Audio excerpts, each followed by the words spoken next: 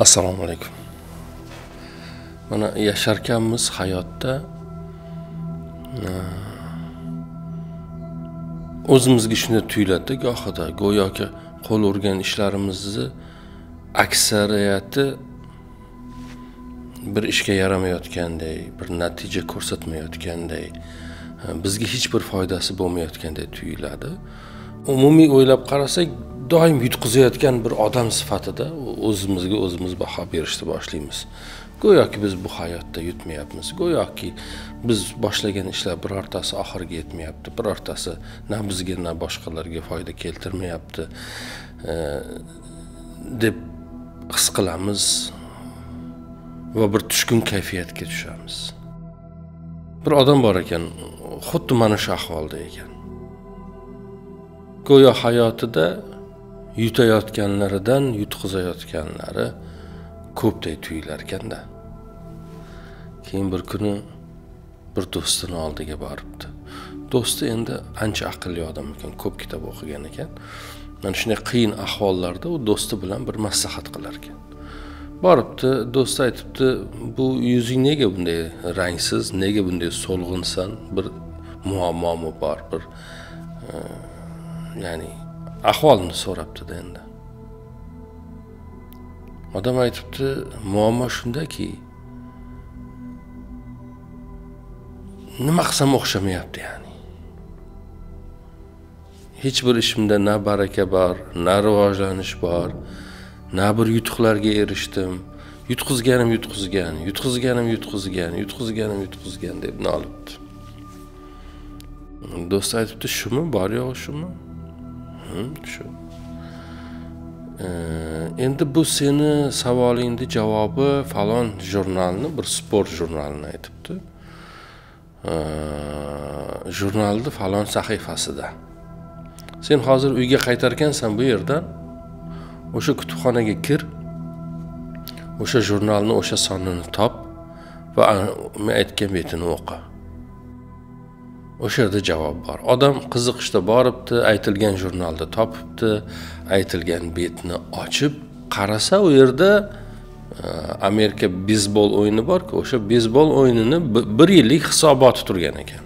Falon jamoa bunisi bilan o'ynab bu e, hisobda g'alaba qozondi unday bo'ldi bunday bo'ldi deb keyin u yerda oxirida asosiy nimaga to'xtalib tayjob o'ziga oshirilgan o'nta to'pdan uch butun yuzda oltmish yetti foizini ura oladi degan ma'lumot keltirilgan ekan. Hatto beysbol afsonalaridan biri bobi roys ham bu ko'rsatkichni ko'rsata olmagan degan bir ma'lumotni o'qibdi lekin u ma'lumotni hech bir shaklda o'zi bilan bog'lolmabdi va do'stim adashdi shekilli yo jurnalda yo sahifasida xato qildi deb oradan bir necha kun o'tgandan keyin yana do'stini yoniga bordi. Do'st so'rabdi nima bo'ldi? Men aytgan jurnalni topdingmi?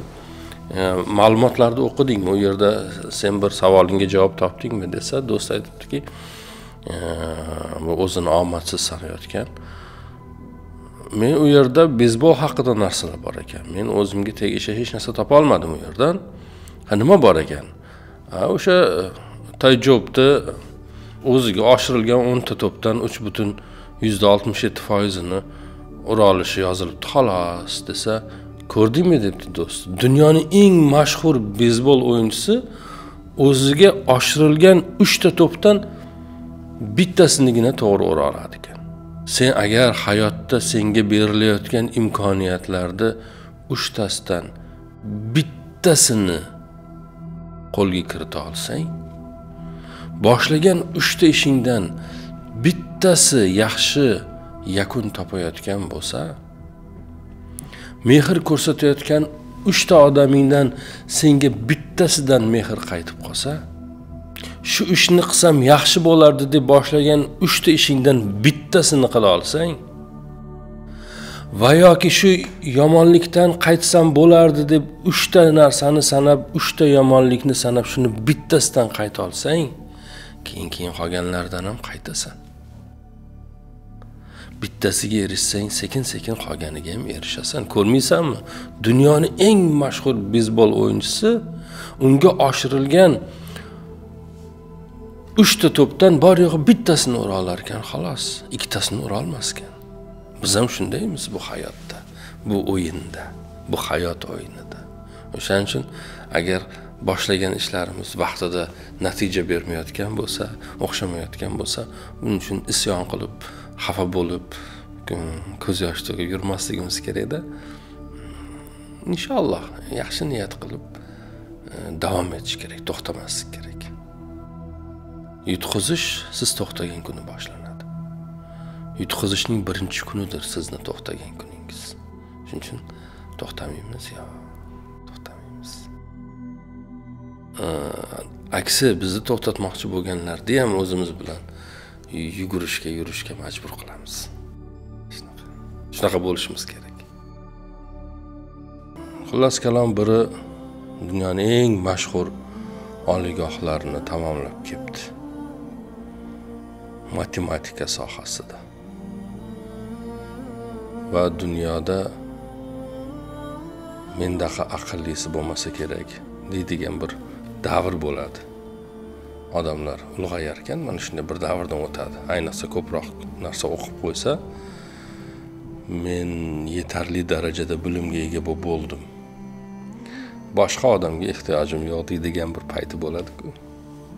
O'shanaqa paytda ekan. Xullas uyiga qaytibdi ota onasini yoniga qaytibdi. Otasi kim endi? Otasi oddiy bir baqqol. Mahallada bir do'koni bor o'sha do'konni yuritadi. Va bir odati bor ekan u odamniki har oylik daromadni bir qismini ehtiyoji borlarga ehson qilar ekan. Boyagi dunyoni mashhur oliygohlarni bitirib kelgan matematik o'g'il otani bu harakatlarini bir johillikka yo'yar ekan. Va bir kuni jur'at qilibdi va otasiga aytibdiki ota men aqlimni taniganimdan beri kuzataman siz bu ishni qilasiz. Ya'ni kunlik daromadni bir qismini boshqalarga berasiz. Bu pulni havoga sovurish emasmi ya'ni agar hozir men sizga istasangiz hisoblab berishim mumkin. Uyimizni ahvolini qarang tagimizda bir mashinamiz yo'q. Yurish turishimizga bir qarang. Endi men sizga buni hisoblab beraman. Har kuni munchadan odam pulni ehson qilasiz odamlarga berasiz. Bir oyligi muncha bo'ladi bir yilligi muncha bo'ladi. o'n yilda muncha bo'lardi yigirma yilda muncha bo'lardi deb hisob kitobini qilibdi. Va aytibdiki endi katta pul chiqibdi u yerda. Aytibdiki ota agar buncha pulni odamlarga bermaganingizda edi bizda allaqachon mashina bo'lgan bo'lardi. Allaqachon bu uyimizni tuzatgan bo'lardik. Ya'ni ahvolimizni yaxshilab olgan bo'lardik debdida endi. Otasi o'g'liga chuqur bir qarabdi. Ich ichlariga qarabdida. Qayerdan paydo bo'ldi ekan bu deb o'ylagan bo'lsa kerakda. Va savol beribdi o'g'lim debdi. Bu yer yuzida itlar ko'pmi qo'ylar ko'pmi? debdi. Qo'ylar nechta tug'adi? Zo'ri ikkita tug'adi. Egiz tug'sa to'rtta tug'ishi mumkin lekin bu yuzda birda uchrar balki uchramas. Yilda bitta tug'adi. Yaxshi qo'y ikkita tug'adi. Endi sizga savol o'g'lim. Bu yer yuzida qo'ylar ko'pmi itlar ko'pmi? O'g'il aytibdi albatta qo'ylar ko'p. Bu voqea qanday sodir bo'ldi o'g'lim? Ya'ni itlar bir yilda besh oltita tug'sa va ularni hech kim iste'mol qilmasa tanovul qilmasa tamoman buni aksi o'laroq qo'ylar yilda bor yo'g'i bitta tug'sayu butun insoniyat ularni tanovul qilsa qanday qilib yer yuzida qo'ylar itlardan ko'p bo'lishi mumkin? O'g'li boshini qashlab qolibdi haqiqatdan-da o'ylab ko'rmaysizmi? Qo'ylar bitta tug'adi. Va insoniyat ularni iste'mol qiladi har doim. Itlar besh olti tug'adi ularni hech kim iste'mol qilmaydi. Lekin shunga qaramasdan qo'ylarni soni itlarni sonidan endi kim bilsin qancha ko'p. O'g'li boshini qashlab qolgan ekan otasi aytibdi ko'rdingizmi o'g'lim? Bu har narsa bu dunyodagi har narsa. Sizni u hisob kitobingiz bilan bo'lmaydi bu qo'shish ayirishingiz bilan bo'lmaydi ko'paytirish bo'lishlaringiz bilan bo'lmaydi. Agar biz bu do'konimizni bir qismini allohni rizoligi uchun ehtiyoji borlarga u yerdan kelgan daromadni ehson qilmaganimizda edi biz sizni bu kazo kazo oliygohlarda o'qitolmasdik. Bir o'ylab ko'rmadingizmi shu paytgacha? Oddiy bir baqqol bo'lsak sizni qanday qilib o'qitdik? Allohni fazli bilan allohni bizga bergan barakasi bilan. Barakani nima uchun beradi? Ana shu bir qismini kimlargadir ehtiyoji borlarga berayotganimiz uchun beradi. Deb otasi o'g'liga tanbeh bergan ekan. Biz ham hayotda yashar ekanmiz ko'p narsalar bizga bog'liq deb o'ylaymiz. Biz amalga oshiramiz. Uddalayman agar olloh topgan tutganimizga baraka bermasa holimiz juda tang ahvolda qoladi. Qancha topsak ham. Ammo olloh bizni topganlarimizga baraka bersa hech tang ahvolda qolmaymiz juda kam topsak ham. O'shaning uchun bu dunyoda hamma narsa bizni bir ojiz hisob kitoblarimiz asosiga qurilmagan. Shu borada yana bir hikoya. Bor uni ham aytib bermoqchiman. Bir ikki tilanchi bor ekan. Ikki tilanchi har kuni malikani yo'lini poylar ekan. Malika ko'zga ko'rinishi bilan bir aytar ekanki yo allohim o'zingni fazling bilan meni rizqlantir derkan ikkinchisi aytar ekanki endi malikaga yoqish uchun yo allohim malikani fazli bilan meni rizqlantir derkan buni endi ikkalasini ham aytayotgan gapini malika eshitar ekan. Allohim o'zingni fazling bilan meni rizqlantir degan tilanchiga ikki dirham berar ekan malikani fazli bilan meni rizqlantir deganiga bir tovuq berar ekan ammo u tovuqni ichiga o'n dirham qo'yar ekan bu ikki tilanchi uyga qaytgandan keyin boyagi qo'lida tovuq turgan tilanchi ichidagi o'n dirhamdan bexabar tovuqni boyagi ikki dirhamga sotar ekan yonidagi tilanchiga. Bu kunlar davomida bir o'n kun davom etibdi. Bir kuni malika ikkalasini ham yoniga chaqirtiribdi. Va boyagi malikani fazli bilan meni rizqlantir degan tilanchidan so'rabdi boyib ketdingmi? Yo'q boyib ketmadim. Nega boyib ketmadingiz? Chunki siz menga tovuq berdingiz falonchiga ikki dirham berdingiz. Men u tovuqni sherigimga ikki dirhamga sotib tovuqni yedim deganda malika aytgan ekan. Men u tovuqni ichiga o'n dirham qo'ygandim. O'n kunda yuz dirhamli bo'lishingiz kerak edi. Lekin siz uni sherigingizga ikki dirhamga sotibsiz. Ya'ni o'n dirhamni qo'shib tovuqni ikki dirhamga sotibsiz debdida. Qissadan hissa shuki har narsani ollohdan so'rashimiz kerak bugun odamlarga sig'inish darajasida topinayotganlarni ham ko'ramiz atrofimizga qarasak. Bu yerda biz tushunishimiz kerak bo'lgan narsa shuki har narsani ollohdan so'rashimiz kerak bandasidan emas. Olloh izn bersa bandasi bizga yordam qiladi. Olloh shunday buyurgan bo'lsa shunday bo'ladi albatta. Agar olloh buyurmagan bo'lsa bandasi tovuqni ichiga o'n dirham solib bersa ham o'sha o'n dirham ollohdan so'raganga ketaveradi. Bizni ko'zimizga balki bunday ko'rinmayotgan bo'lishi mumkin. Biz buni haqiqatlarini anglolmayotgan bo'lishimiz mumkin. Lekin haqiqat shu. Birinchi hikoyada ham ikkinchi hikoyada ham janobi allohning qanchalik marhamatli ekanligi haqida xulosa qilishimiz mumkin. Shunaqa albatta ko'p boshqa yana xulosalar chiqarsa bo'ladi. Bu qismini sizga qoldiraman. Salomat bo'ling. Bir hikoya bor.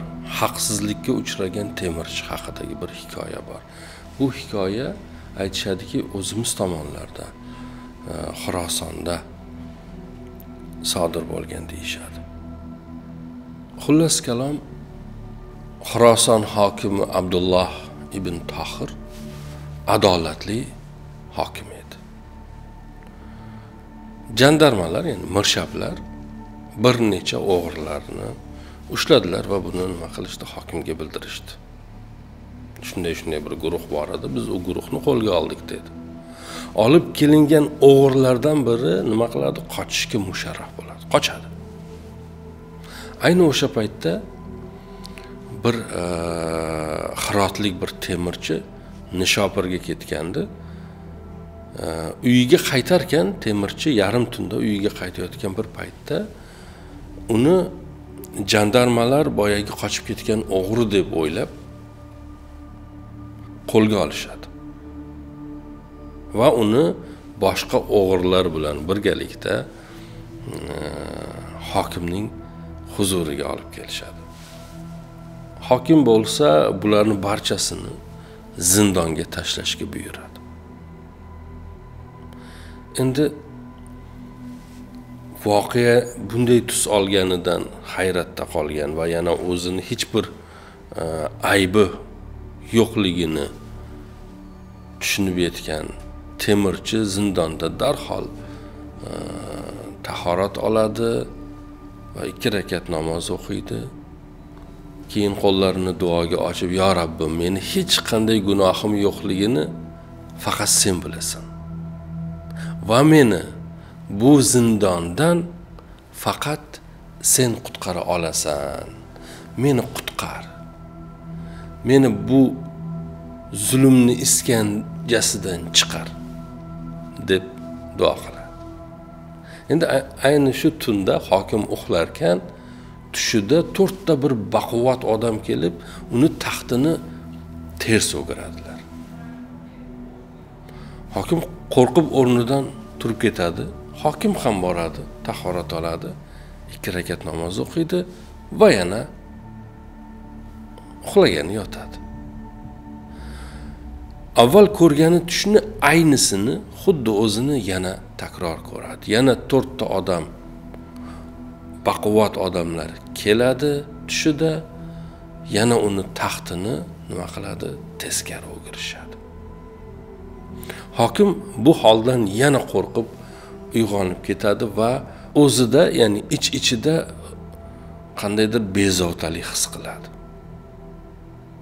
Kimgadir zulm qilyapman shekilli o'zidan o'zi bo'lmaydi bu taxt o'zidan o'zi teskari qilishmaydi. Ya'ni bir o'zi tomonidan sodir etilgan bir nohaqlikni his qiladida. Hokim darhol birinchi zindon boshlig'ini yoniga chaqiradi va unga deydiki e, bu kecha bizni qamoqxonamizda zindonimizda mazlum ya'ni zulm ko'rgan biz tomonimizda nohaq o'tirgan birortasi qoldimi? Qarangda har kuni tekshirar ekanda mazlum birortasi qolmayaptimi qamoqxonada deb. Keyin qamoqxona boshlig'i shunday javob qilibdi. E, hokimman bilmadim. Faqat tinmay bittasi namoz o'qiyapti. Ko'zlaridan yosh to'kib nima qilyapti? Duolar qilyapti. Hokim aytibdi u odamni darhol tezlik bilan oldimga olib keling. Buni buyurib temirchini hokimni yoniga olib kelishibdi. Hokim undan hol ahvol so'rabdi. O'zini tanitishini bu yerda nima qilayotganligini ne sababdan zindonga kirganini so'rabdi. Temirchi voqeani qanday sodir bo'lgan bo'lsa shunday oqizmay tomizmay ipidan ignasigacha aytibdi. Ahvolni anglagan hokim o'zi tomonidan yoki uni xizmatchilari tomonidan xato sodir etilganligini tan olibdi va temirchidan uzr so'rabdi. Haqingni halol etdi va mana shu ming kumush tangani meni hadyamni qabul qil. Va agar bundan keyin ham biror arzing bo'lsa bir muammoga duch kelsang albatta meni yonimga kel menga murojaat qil debdi temirchi sokincha shunday javob beribdi. Men sizga haqqimni halol qildim va berganingiz bu ming kumush tangani olaman. Ammo biror bir ishim chiqsa bir tilagim bir istagim bo'lsa sizning yoningizga men kelolmayman. Hokim so'rabdi nima uchun kelolmaysan? Chunki men kabi bir faqir uchun sen kabi bir sultonning taxtini bir necha marotaba teskari o'girtirgan egamni tashlab istaklarimni senga aytolmayman egamga aytaman. Nima dardim bo'lsa nima hasratim bo'lsa nima og'riqlarim bo'lsa nima azoblarim bo'lsa bir tor hayot yashayotgan bo'lsam nima bo'lsa allohga aytaman. Ollohdan boshqaga bir narsa so'rab borish bir qulga yarashmaydi. Namozlarimdan keyin qilgan duolarim sabab meni mana shunday bir muammolardan qutqardi. Yana ko'p ko'p mana niyatlarimga qovushtirdi. Iqtisodiy tomondan bir butlab qo'ydi. Boyagi nimani nazarda tutyaptida ming kumush tangani shuncha narsa bo'lib turib qanday qilib men boshqasidan yordam so'rayman? Yaratgan egamning eshigi har doim men uchun ochiq ekan. Qanday qilib men u eshikni tashlab u eshikdan voz kechib tark etib sening eshigingni kelib taqillataman. Kim istadida bu hayotda? Olloh bermadi. Kim so'radida so'raganini olmadi. Kim bu eshikka keldida bu eshikdan qo'li bo'sh qaytdi? So'rashni bilmaslik bu boshqa masala. Agar siz so'rashni bilmayotgan bo'lsangiz bir tavozeli bo'lishni bilmayotgan bo'lsangiz ollohni huzurida odob bilan turmayotgan bo'lsangiz uni huzuriga odob bilan chiqmayotgan bo'lsangiz va buni sababidan uni rahmatiga qovusholmayotgan bo'lsangiz marhamatiga qovusholmayotgan bo'lsangiz rahmiga qovusholmayotgan bo'lsangiz bu sizni xatoyingiz. Maslahatim debdi temurchi. Siz ham uning yoki buning adolatiga sig'inmang. Allohning adolatiga sig'ining. Albatta dunyoda ham adolat bor. Dunyodagi adolatni ham bir vasila o'laroq ko'rishimiz mumkin. Ammo insonlarga ishonib bir ishga bel bog'lamang. Amakidan tog'adan bilmam yana kimdan so'ramang. Haqiqiy istak eshigiga yuzlaning. Zero u eshikdan siz hech qachon bo'sh qaytmaysiz. To'g'ri bo'ling va allohga sig'ining. Adolat ertami kechmi? Albatta qaror topadi. Mana shu temirchini oxirgi gaplari podshohga nasihatlari bizga ham qilingan nasihatda aslida. Biz ham sal qiyinchilikka kirib kelib qolsak tog'adan amakidan undan bundan so'raymiz tezroq hal qilmoqchi bo'lamiz. Nima uchundir bizga ollohdan so'rash va undan bizga bir javob kelishi va bir muammolarimizni yechimi topilishi uzoq vaqt so'radi davom etadiganday tuyuladida insoniy o'lchovlarda harakat qilamiz. Tabiiy albatta bu lekin qalbimizda ana shu alloh azza va jallaga bo'lgan bir tavoze bir odob bir haqiqiy ma'noda qullik qilish haqiqiy ma'noda sig'inish haqiqiy ma'noda ishonish bo'lsa bizdagi muammolar boshqacha bartaraf bo'ladi. Bizni qo'llarimizni ochishimiz boshqacha bo'ladi. Aslida mana shu qo'limizni duoga ochtirib qo'ygan olloh mana shu shu bilan bizga marhamat qilgani o'zi aslida. Odamlar bor qo'lini duoga ocholmaydi. Ocholmaydi. Ishonmaydi ya'ni. Fojia emasmi bu inson uchun? O'shaning uchun bugun qo'limizni duoga ochib Allohdan so'rash baxtiga musharraf bo'layotgan bo'lsak mana shuni o'zi bir katta ne'mat. Berish bermaslik alloh azi vajallani o'zini ixtiyorida. Davlat uniki mol uniki mulk uniki butun yaratilgan har narsa uniki. Biz ham unikimiz o'zimizniki emasmiz. Biz kimmiz? Agar Allohning huzuriga odob bilan chiqa olsak butun hayotimiz boshqacha bir e, tus olishi mumkin ko'rinish olishi mumkin. Mana shunaqa bugun e, o'ylaymanki hammamiz uchun ham o'sha temirchi misolida aytilgan o'gitlarda amal qilsak hammamiz uchun ham juda katta foydalar bor deb o'ylayman. Sog' bo'lasiz.